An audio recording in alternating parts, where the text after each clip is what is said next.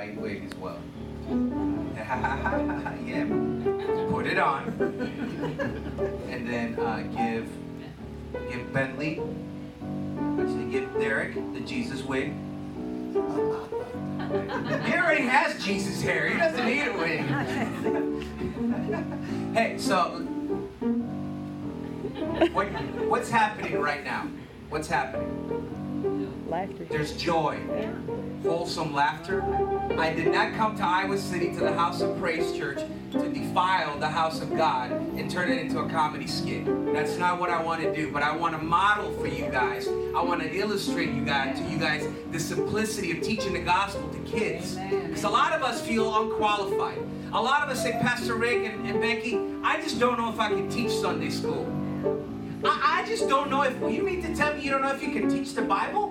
The Bible is a double-edged sword and pierces. Yes, it takes a little creativity, perhaps perhaps a little um, from from on your part. But I tell you, there is an anointing over each and one of you. There's not. It's not that Pastor Rick has an anointing and you don't. It's not that Mike has an anointing and you don't. Amen, amen. I don't have I don't have anything that you didn't that you don't that you did acquire that wasn't deposited in you when you asked Jesus to come into your Yes. life. So if you feel unqualified today, I just want to model to you guys because you know laughter. Laughter is such a great thing. A lot of us, Yes, it is. you know, life can make us better or bitter. Which one are you? Are you better? Or are you bitter? And listen, I know I, I I don't know what's going on in our lives. I have no clue. And I'm at 38 years of life. Haven't done everything under the sun. I haven't experienced everything under the sun. But as Darren is my witness, there's been some some treacherous waters we've had to navigate, right, Darren? And are we better or are we bitter? We're better, man. We're better.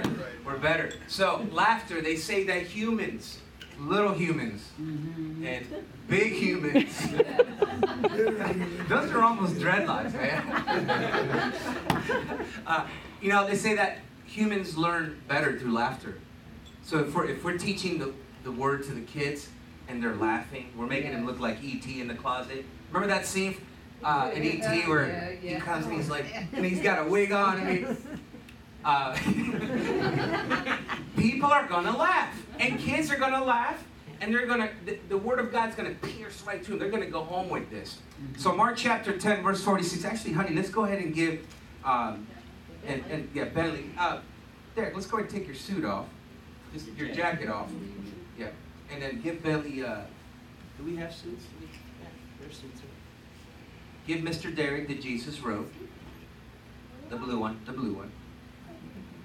The robe. Yeah, put it on, man. well, it's not. eh, It's just uh, something you put over. And then, do we have one for Bentley? We do. Okay. Is there a wait for Bentley? I think there is a wait for Bentley. Yeah, go ahead and give it to him. Okay. Stop for a second.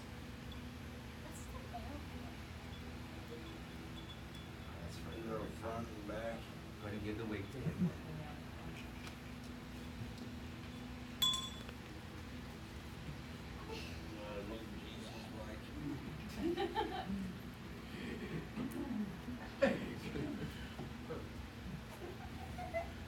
Sorry I'm messing up your hair, Dan. So, if you're familiar with Mark chapter 10, verse 46, what are we talking about today? You're right. Go up, come over here. Have a seat. Oh, I'm asking him to come and he's blind. Have a, turn around. Have a seat right there. And Derek, could you be kind enough? Um, I forgot my cane, so I found something, Pastor uh, Rick. There's right there the sound booth, right there to your right. I found some sort of metal rod. We're going to pretend it's a cane today. Hopefully, no one gets hurt. Thank you. Well, it's not gonna pick up, it's not gonna pick up on other stuff. Oh, you're right. You're right. Um, I'll just use this. Thanks. Okay, so you two come over here, uh, Bentley and, and uh, Brother Derek. I'm, uh, I'm Jesus. Oh, Jesus. That's right.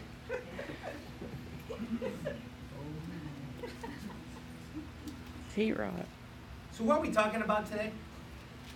Mark chapter 10, verse 46. Where are we reading out of? Mark chapter 10, verse 46. Where are we reading out of? Mark. Mark. Mark chapter 10, verse 46. Awesome, awesome. I'm thinking about things right now. Okay. Okay. So we're going to read this. It says, Now they came to Jericho. Who are they?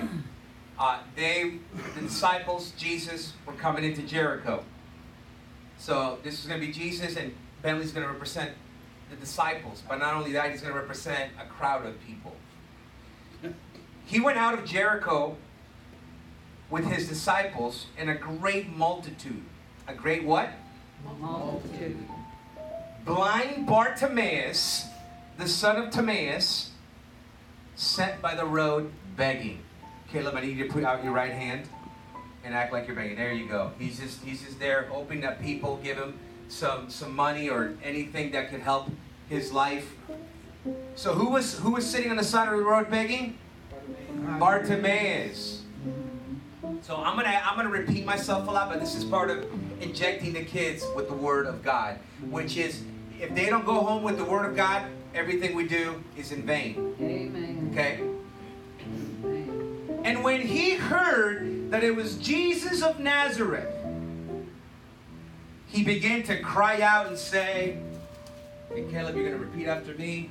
He began to cry out and say, Jesus! Louder because he was crying out. He's in a crowd of people. He wanted to make sure Jesus heard him. Jesus, Jesus. son of David, Son of David. have mercy on me. Have mercy on me. Then many warned him. Many warned him to be quiet. You guys are going to be the many. So I'm going to have him cry, cry out again. Jesus, son of David, have mercy on me. And as soon as he says that, you guys go, be quiet. Here we go again. Caleb, Jesus. Son of David, Son of David. have mercy on me. Mercy on me. Be quiet. Again. Be quiet. Time. Be quiet. Oh. See, in life, we're going to have a lot of people try to shut us up. This world's trying to drown our voices Amen. as Christians. Constantly, constantly, opposition, adversity in this world through the media, in our neighborhoods, at our schools, from all different angles. The world is trying, Satan in his, in his kingdom of darkness is trying to drown out our voices. Are we going to let him? No. No. Do you think Bartimaeus let the crowd get to him? No. No. The Bible says, but this actually fueled Bartimaeus. It says, but he cried out all the more again, Son of David, Son of David. Mercy on me. mercy on. So then Jesus and his disciples were walking. Go ahead and walk, walk, walk, stop. The Bible says that Jesus stood still and commanded him to be called. Come here, come here, Caleb. I mean, Bentley. Jesus, tell Bentley, go get him. Go get him. So, so he. My child. He's improvising, man. That's awesome. Hey, that's not in the Bible.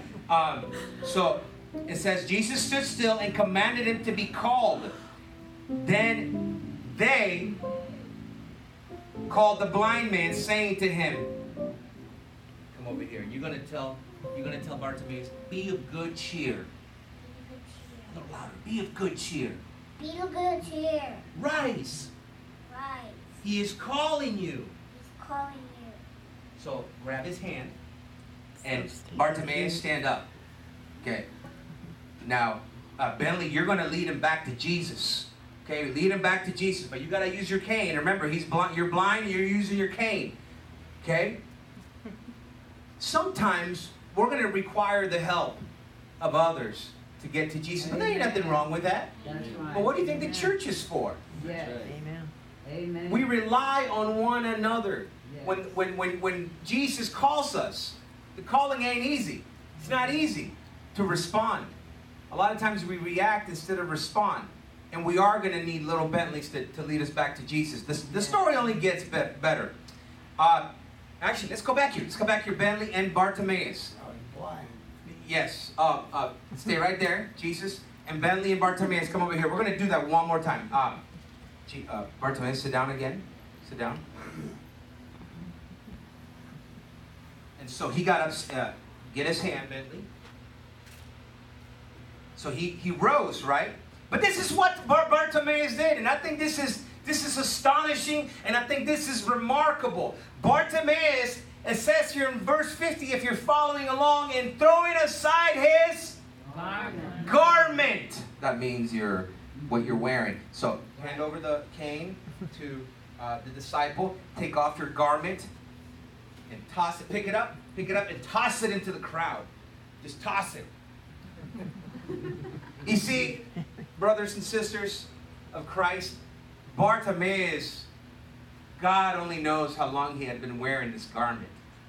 It is said, it is said uh, that in ancient times, outcasts like Bartimaeus, who would purposely put in the outskirts of a city, a large city, in this case Jericho, would put there not only so that they then mix in with the uh, normal population, but they had a special place in the outskirts of the city so that they could beg.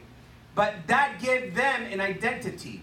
And, and, and it is said that certain garments possess the power to give them that identity. Bartimaeus knew who was calling him. And that in order for him to go to the master, in order for him to go to the teacher, in order to go, in order for him to go to the King of Kings, he needed to dispose of his old garments. See, he no longer he was going to get up, and he no longer was going to be. As soon as he was done with, or Jesus was done with him, he was no longer going to be blind Bartimaeus. All right. He was no longer going to have that identity as a Yeah. beggar. Yes. He was no longer going to have that identity of an outcast. He was no longer going to have to live with the fact that people rejected him and Come their society Yeah. rejected him. He knew who he was going to. Hallelujah. Who was he going to? Yes. Jesus. So again, let's lead him back to Jesus, Bentley. Lead him back to oh, You got hold of his hand. he's gonna fall over. Throwing aside his garment, he rose and came to Jesus. So Jesus answered and said to him, and I know you have a nice, sweet, tender Jesus, uh, Savior's uh, Savior voice, okay? Because Jesus was tender, wasn't he? Man, I'm trying to be like Jesus. I, you know, J- Darren just came up and, and asked me if I needed a microphone. I said, Darren, I'm loud. My, my voice is loud. But I'm trying to be more tender to my wife. I'm trying to be more, you know, speak softer to her and to others around me. Because some of us guys, man, we're rough around the edges, aren't we? I only have one voice, man. Hey, that's awesome. I, yeah, that's awesome. So Jesus answered and said to him, and your nice, tender, loving Lamb of God, Son of God, Savior, Jesus' voice, what do you want me to do for you? What do you want me to do for you? So he asked you that, Bartimaeus. And you know what? Jesus continues to ask all of us, what do you want me to do for you? Do you think he knows what we need? Do you think he knows what we want? But again, as I mentioned earlier, David said, Search my heart, O Lord, because we only begin to scratch the surface. We may think we need a new car. We may think we need a, you know, you know enough money to pay for the electric bill. Uh, we're, we're asking for silly stuff when we need to be asking for, you know what? Just having this conversation with, with, with uh, some brothers uh, a couple weeks ago, I said, you know what? God's mercy is fresh every morning, ain't it? Amen. Brand new every morning. Every. Is it guaranteed to us? Yeah, it's guaranteed. Does that mean we should get on our knees and, and beg Him, have mercy on me? Just because we know it's it's it's here, does that does that gonna stop me from saying, Jesus, have mercy on me? Have mercy on my little girls. Have mercy on my wife. Have mercy on my family. Have mercy in this for this world that's falling apart. Yes. I'm gonna ask Him every day Mercy. mercy. Tell you what, side note, our kids Bentley, Caleb, you guys better be filled with the Holy Spirit. He's nodding his head. He's like, yeah. You guys, for what's to come in the next 10, 15, 20 years, these kids, Church of God, better be filled with the Holy Spirit of God. If they're gonna, if they're planning on facing the adversity, not only the adversity, but the Huh? The people. Persecution. If they're planning on keeping their heads up and not negating or denying their faith, these boys and girls better be filled with the Holy Spirit. What are we doing about it? Amen. So I'm here to challenge you this morning. Is it okay if I challenge you a little bit? I'm here to challenge you guys, Church of God.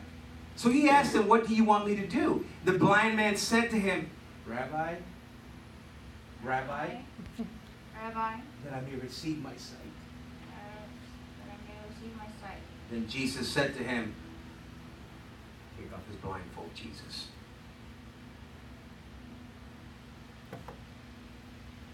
Lay your hands on his bald head right there. And he said, Go your way. Go your way. Your faith Your faith has made you well. has made you well. And the Bible says that immediately he received his sight and followed Jesus on the road. Now, Jesus lead the way. And they followed Jesus. You guys follow him. Go. And he, this is where you guys put your hands together for our actors.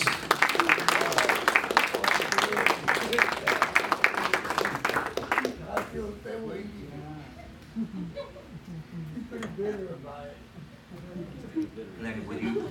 You guys can just you guys can just take your uh, your your props and leave them back there. And then if you want to take them the blue bag, honey, Mila, do you want to take them the blue bag over there? Thank you so much.